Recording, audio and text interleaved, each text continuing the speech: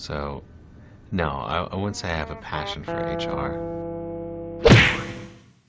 Welcome back to Human Resources for the People. It's a human capital revolution. Am I going to lose my job? Today we're going to be talking about that and ChatGPT. You know, uh, the Chat GPT has come by storm, and I'm using this Fast Company article from Jesse Meschuk uh, to sort of guide the conversation today in this short video.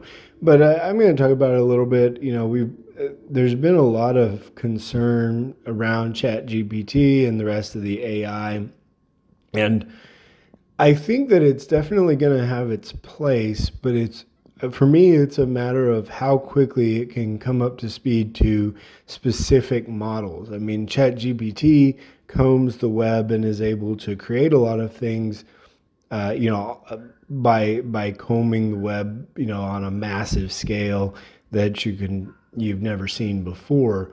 But what happens when the knowledge base is really small and there isn't a lot of information? I think that's where things get interesting. Uh, so let's talk about it uh, a little bit today. Um, you know, I think that there are, you know, consistent with this uh, with this article, about three places that I think might be a good place for HR uh, and Chat GPT, and we'll talk about it.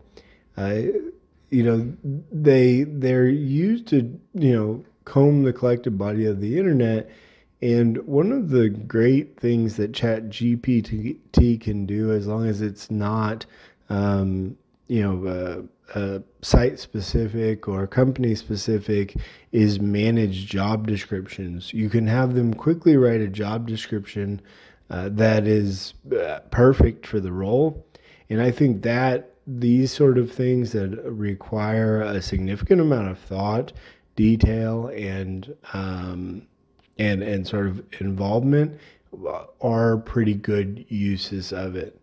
Uh, in addition, you know, you can benchmark information on salary ranges and benefit offerings, but they really need to. There would need to be a lot more um, improvement on the accuracy as well as the ability to uh, you know write naturally and and create everything because you know this this person notes that they asked for a salary range of an HR director in Los Angeles for a one billion dollar to three billion dollar technology firm. It was low, and that's exactly right. And the problem is that you can't you know you can't really just feed off chat gpt when you make these decisions so there has to be some knowledge behind it and as as many know ChatGPT is is old, right? And so this knowledge will have to be it's it, you I think you can only go back to 2019. So this knowledge would be you know sort of dated at this point, right? Anything with respect to salary that's now 4 years old is just, you know, frankly not that useful. Um beyond that you could do more with HR tasks and employee self-service, but again, the issues with that is that well, there are two that I see, frankly. Uh, this, you know, uh, the problem is that you still have a whole class of employees that are nowhere near this, and frankly, aren't you know capable of using uh, the internet in any meaningful way, and as a result, it's it's really uh, sort of useless. You know, a lot of times you cut back the HR department only to simply uh, only simply to have them handle people who don't even know how to access their email. And these people are necessary. They're important to the operation of the business, but you, they don't know how to operate their email. And so it, eh, the expectation to go online is is still not quite there yet. Uh, this will change going uh, further. And the last one that I want to highlight that I do like that, that this author writes um, is that performance management and real time feedback. So it'd be a great idea to sort of use it to check on performance improvement plans, have it check on things like that, and look to see if they see anything that is questionable.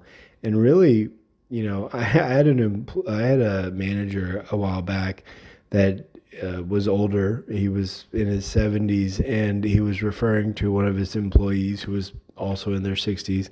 And he said in his review something like, You can't um, teach an old dog new tricks. And he wasn't being rude, he wasn't intentionally being rude at all. But that was, if you could sort of send this through chat gpt to check these sort of things that would be a great use of the uh, of the system and and the function overall. So is my job going away?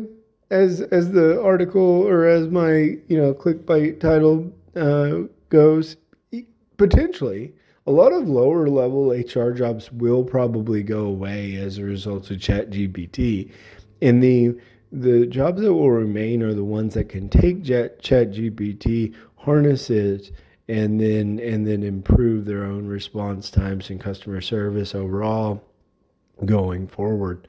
And that's what it really means. So is my sort of higher level job going wait no not really not likely. Could could some lower level jobs go away? Absolutely and that's what you might see. Uh, that's it for today on human resources. What do you think about people. today's Make video? sure you like, Please, share, and uh, subscribe. comment down Are you below. worried about the next Like, uh, about share, the and future? subscribe. Let me know in the comments down below. And Have I'll a good see you day on the next one. and see you on Bye, the next guys. one. Bye guys.